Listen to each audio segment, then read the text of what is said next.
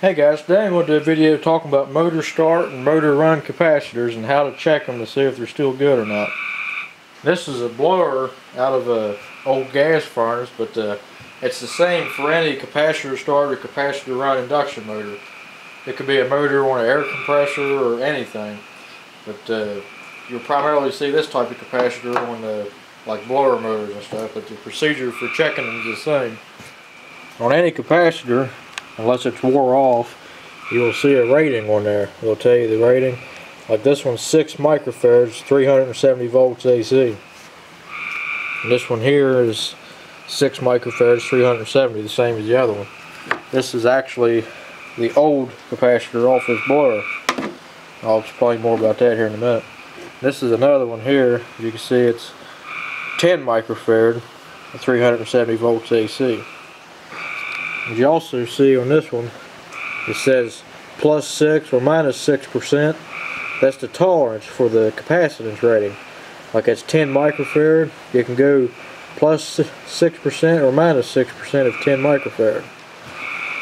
Okay, this shows the basic breakdown of how to figure up the uh, the range of a capacitor.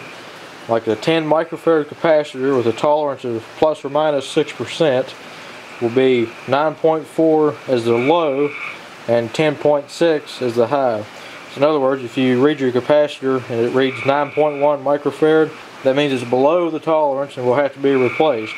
If it reads more than 10.6 microfarad, it needs to be replaced because it's going above the tolerance. But this is the range for a 6% plus or minus on a 10 microfarad capacitor. Now this here shows the uh, like 10 microfarads times 6% equals 0.6.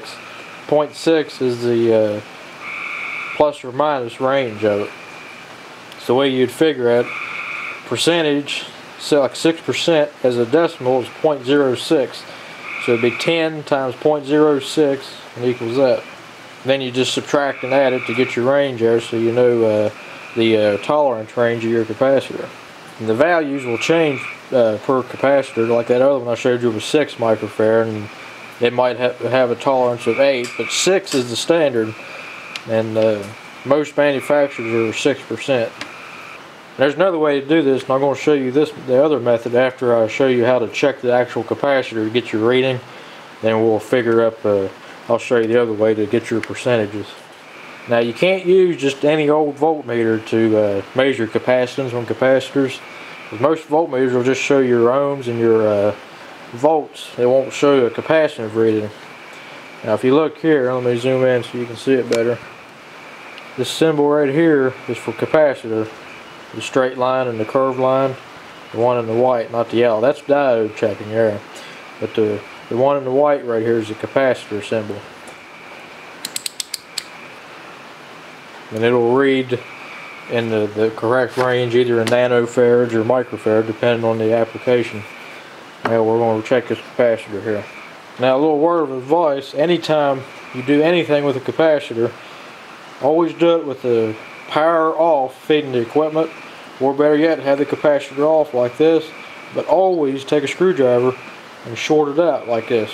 You just never know that there could be a charge in there. And these will have a pretty good charge on there sometimes. I was working on a Jacob's ladder setup, it's a high voltage experiment. I had microwave oven capacitors hooked up. I had six of them. So it was like uh, 6,000 volts. And uh, I grabbed a hold of it and it discharged through me. And I just always short them out like that. Or if you got like a test lead or something, you could clip it on there and just keep it on there. Because actually static electricity, you can actually charge these up. So you always got to be careful with that. Now, all you got to do is set your voltmeter on the capacitance. And you just take your two leads here and put them on there like this. You see we're reading 9.08 microfarad. Another little tip I can give you, don't touch these. Uh, as you can see it changes the uh, capacitance there when you touch it. So don't ever touch them because it will change your reading. Now it's reading 9.08 And this is a 10 microfarad capacitor with the uh, tolerance of 6%. So it's below, it's reading below the 9.4. So in other words, this capacitor is bad. If you get a bad capacitor, get your information off of it and throw the other one away. And a bad capacitor like that can still start and run your motor, but in the long run, you're damaging the motor because uh, when the capacitance changes like that, it's making the motor run hotter. And it will shorten the life of the motor considerably. So if your capacitor reads low, always replace it. Or if it reads high, replace it. You want it within that tolerance. Now the capacitor here on my blower fan here, I had to replace it last summer, which as you can see, it was almost getting ready to explode. And these will actually vent, that's what they call it, it'll actually vent and blow the gases out of it. You gotta be careful with your old capacitors, which this might be one of them that has a PCBs, it's dielectric in there, and it's very dangerous, can cause cancer and all kinds of bad stuff. So if you ever uh, have a capacitor that's leaking, or uh, that blew up or anything, just don't get the stuff on you and clean it up and dispose of it properly. Uh, this capacitor here, I just kept it to show people what it looks like when the one's getting ready to blow.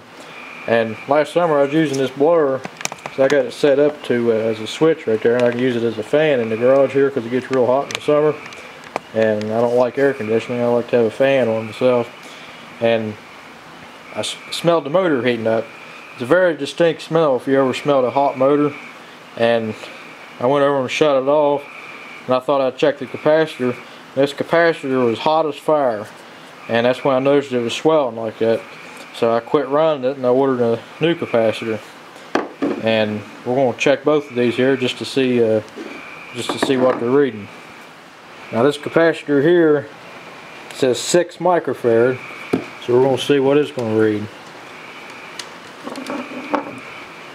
It's like 9.2 microfarad and it's supposed to be 6. So I don't even have to check that with the formula. You know that's way over the rating. So this is definitely a bad capacitor here. And this here is going to be a good example of what you'll actually run into on a furnace or something. You always have your capacitor here. Uh, I recommend discharging it first before you even touch anything. That way you just know. You just you just never know. And if you got wires hooked up like this, just unhook it so that one side of the capacitor is unhooked. That's all you need to do to check it. Uh, some people like to take them out, but uh, you don't really have to. Now this is supposed to be a good used capacitor I bought online real cheap, so we're going to see what it's reading. So it's reading 6.8.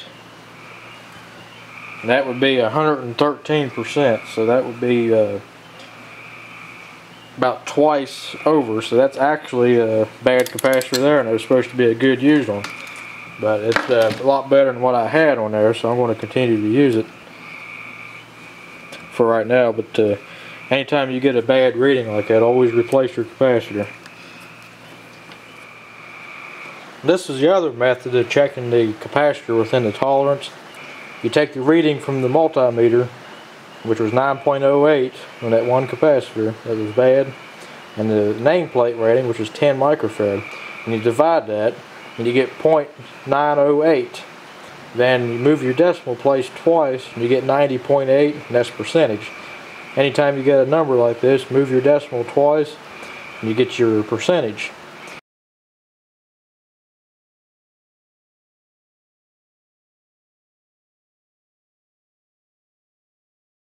It looks complicated, but it's actually very simple. So, uh, and it's a good method to uh, check your uh, tolerances. Well, guys, that's about it. Uh, this is a very important thing. It, uh, it's always it's often overlooked when you have a motor problem. Most people think it's your motor overheating, something wrong with the motor. And if you let that go for a long time, you will have an actual motor problem. But uh, a lot of times you can get by just replacing the capacitor if you have a, like a motor overheating, like I said earlier. As soon as I replaced that capacitor on this, it uh, ran like a brand new motor. Didn't get warm at all. So that was what was wrong with it.